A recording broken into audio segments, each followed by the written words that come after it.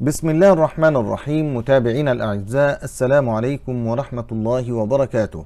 تعد الإصلاحات التي قام بها حزب العدالة والتنمية في المجالات السياسية والاقتصادية والاجتماعية في تركيا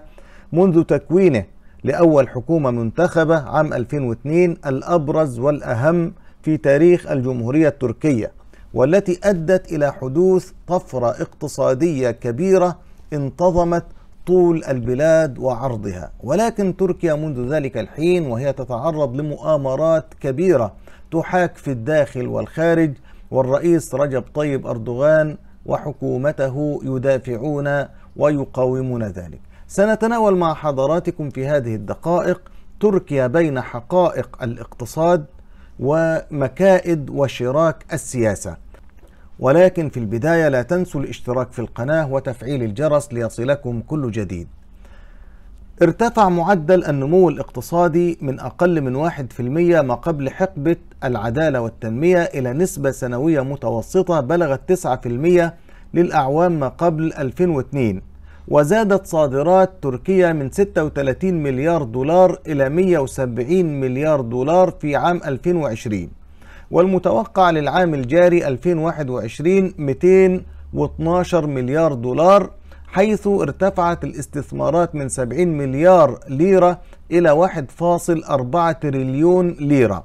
نهوض اقتصادي في ظل القطبية الأحادية وقد انعكس كل ذلك في رقي وتطور الحياة الاجتماعية في تركيا حيث ازدادت أعداد المدارس والجامعات واتسعت الخدمات الصحية والاجتماعية وامتدت شبكات الاتصالات والطرق البرية والسكك الحديدية والمترو كما أصبح الناقل الجوي الوطني اللي هو الخطوط الجوية التركية من أفضل خطوط الطيران العالمية وأكثرها التزاما بمعايير الأمن والسلامة وازدادت أعداد المطارات في طول تركيا وعرضها وتبوأ مطار إسطنبول الجديد موقعا رائدا في صدارة المطارات العالمية وتميز بأداء رائع خلال جائحة كورونا كما صارت إسطنبول نقطة التقاء للمسافرين عبر القارات. تكمن المفارقة بين تركيا وغيرها من الدول هنا في أن الحكومات التي تعاقبت على البلاد منذ أواسط القرن الماضي لم تستفد من هامش المناورة الذي كانت تتيحه الثنائية القطبية التي نشأت بعد الحرب العالمية الثانية في المضي قدما بالبلاد في طريق النهضة والحداثة رغم الالتزام الصارم للنظام الجمهوري بالعلمانية منهجا لإدارة البلاد في كل شؤونها والرغبة التي كانت سائدة في تركيا للانضمام للاتحاد الأوروبي. على الجهة المقابلة جاء تولي حزب العدالة والتنمية مقاليد الحكم في البلاد في وقت يرزح فيه العالم تحت وطأة نظام عالمي أحاد القطبية يسعى بكل ما لديه للاحتواء والهيمنة على أي بلد يسعى للنهوض على هدي إرادة وطنية خالصة ولكن الحزب تحت قيادة الرئيس أردوغان رغم كل ذلك استطاع تحويل التحديات والصعاب التي كانت مسيطرة على المشهد إلى فرص هيأت لتركيا السير في طريق النهضة الاقتصادية وثورة علمية وتقنية تكاد حاليا أن تضعها في مصاف أفضل عشر اقتصاديات في العالم. نمو رغم جائحة كورونا. ومما أدهش الكثير من المراقبين أن الاقتصاد التركي رغم ما أصاب البلاد جراء الموجة الأولى لكورونا استطاع أن يحقق نموا موجبا في العام الماضي بلغ 1.8% في حين أن معظم الاقتصاديات العالمية قد جاءت معدلاتها سالبة وتزيد الدهشة حول التعافي السريع للاقتصاد التركي. إذ بلغ معدل نموه خلال الربع الأول للعام الجاري 7.2% و7.21% للربع الثاني بينما المتوقع له في نهاية العام هو 10% في حين أن المؤسسات المالية الدولية كانت تضع له معدل 9% في أحسن الحالات وهو أعلى معدل للنمو الاقتصادي منذ عام 1999 تعزيزا لهذه النتيجة انتهجت الحكومة سياسة اقتصادية توسعية عمدت معها إلى حث البنوك على تخفيض أسعار الفائدة وزيادة معدلات الإقراض البنكي لتحفيز المنتجين وصولا إلى زيادة الصادرات التي قال وزير التجارة التركي في تغريدة له إن الفضل في زيادة معدل النمو الاقتصادي يرجع نصفه إلى زيادة صادرات السلع والخدمات بنسبة 10.8% تعد الأولى منذ عام 1998 كما صرح رئيس جمعية المصدرين الأتراك أن الخطة تقضي بأن تزيد صادرات البلاد إلى 300 مليار دولار سنويا خلال الأعوام الخمسة القادمة. تنفيذا لهذه السياسة أقرت الحكومة في سبتمبر أيلول الماضي تخفيض سعر الفائدة من 19% ليستقر في حدود 14% في ديسمبر كانون الأول الجاري. لكن الليرة التركية بدأت هبوطا سريعا مقابل العملات الأجنبية. الأمر الذي لم يكن مبررا بأي منطق علمي في ظل مؤشرات الأداء الاقتصادي الموجبة خاصة في جبهة الصادرات التي وفرت للبلاد رصيدا جيدا من العملات الحرة. إن التفسير الذي يمكن أن يميط اللثام عن هذه المفارقة هو ازدياد نشاط المضاربين الذين يحركهم بعض أصحاب رؤوس الأموال المعارضين المرتبطين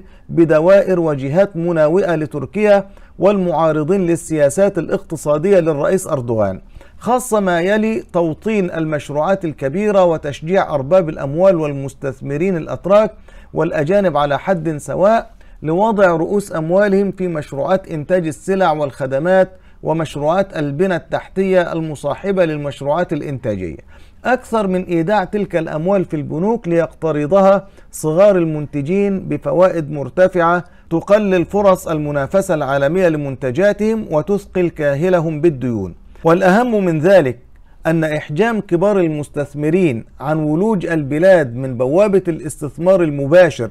والاكتفاء بإيداع الأموال في البنوك ليقترضها آخرون يحرم تركيا من أن تكون مركزا ماليا واقتصاديا عالميا هي بالفعل مؤهلة لأن تحتل هذا الموقع كونها موقع استراتيجي يتوسط قارات العالم ومكانة اقتصادية مرموقة ورأس مال بشري عماده العقل والابتكار والتصميم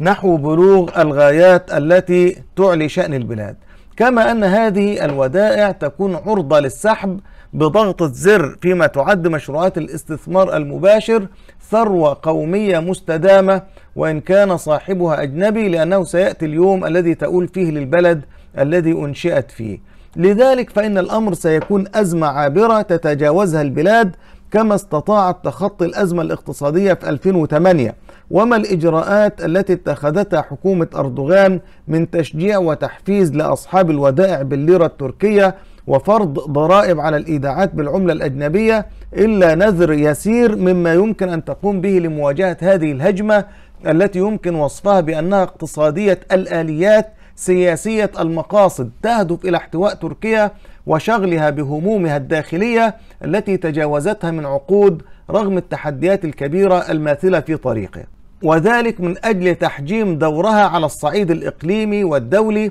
فقد أصبحت تركيا تلعب دورا هاما سواء في مواجهة التحديات التي تقابلها في محيطها الإقليمي والجوار بسبب التطورات والأزمات في المنطقة والتي جعلتها تتخذ خطوات للانتشار حماية لمصالحها والتي على رأسها أمنها القومي. ومقابلة التداعيات الاجتماعية والإنسانية لعدم الاستقرار في المنطقة ربما كان السعي لتحجيم دور تركيا من بعض الفاعلين الدوليين من خلال افتعال أزمات اقتصادية تقود إلى اضطرابات سياسية تؤدي إلى انتخابات مبكرة أو إرباك حسابات الانتخابات القادمة إلا أن وعي القيادة التركية وإحاطتها بكل التحديات سيمكنها من تجاوز مثل هذه السيناريوهات. ومهما يكن سيظل الاقتصاد تحديا ماثلا أمام القيادة التركية. ليس للمحافظة فقط على الإنجازات التي تحققت وإنما للمضي قدما في المشروعات الطموحة. التي شرعت فيها من قبل والتي أدت إلى حدوث هذه الطفرة الاقتصادية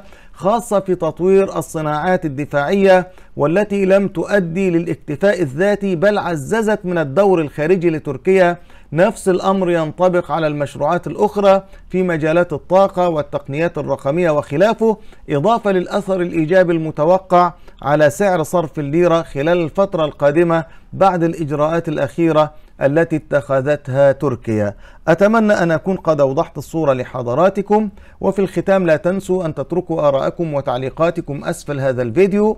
وإن كانت مادته قد أعجبتكم لا تنسوا أن تسجلوا إعجابكم وأن تشتركوا بالقناة وتفعلوا الجرس ليصلكم كل جديد. دمتم بخير والسلام عليكم ورحمة الله وبركاته.